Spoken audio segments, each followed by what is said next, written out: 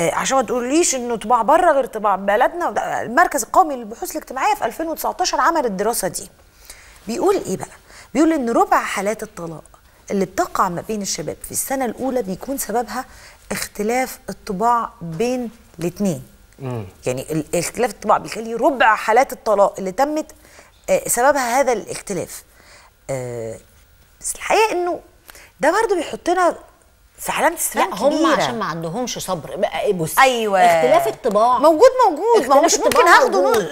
كربونة مني هي المشكلة مش إن اختلاف الطباع هو اللي بيدمر الحياة الزوجية المشكلة إنه إحنا بقى عندنا للأسف كتير من. الكبر كتير من العند صح.